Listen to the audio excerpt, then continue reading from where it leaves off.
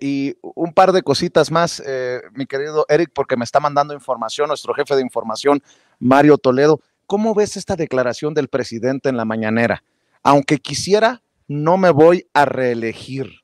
El presidente reprochó a la oposición, y creo que con justa razón, engañar a los ciudadanos en torno a la reforma electoral. Bueno, acabamos de ver y escuchar hace unos minutos aquí en, en, una entrevista exclusiva para Sin Censura Paloma Sánchez, la encargada de comunicación del PRI, la diputada plurinominal del PRI por Sinaloa, precisamente buscar eh, apostarle a la desinformación sobre el objetivo que tiene esta reforma electoral.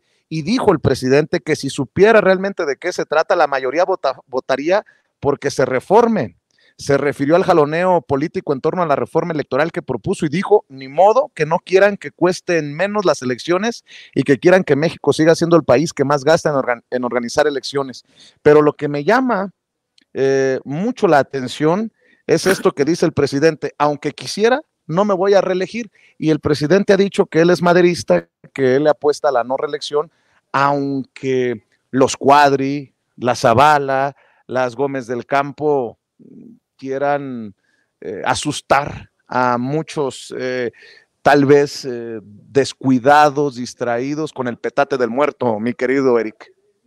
Mira, ese, es el engaño que, han tratado, esa es la narrativa que tratan de imponer este tipo de personajes que, que como dice el presidente, mienten como respiran.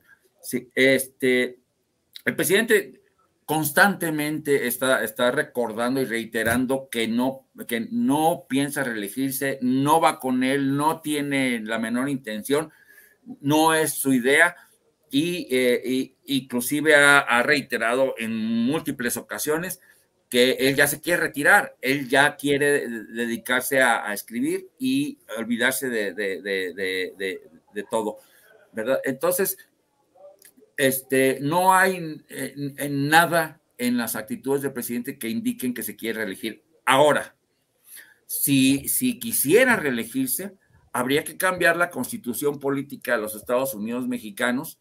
Eh, eh, en un sentido en que ni esta reforma electoral ha estado jamás en el, tintero, ¿verdad? Este, habría que, hacer un cambio muy, muy, muy específico en la constitución política. Entonces, no, aunque quisiera, no tiene, no, no, no tiene eh, eh, eh, el, marco jurídico para hacerlo, ¿no?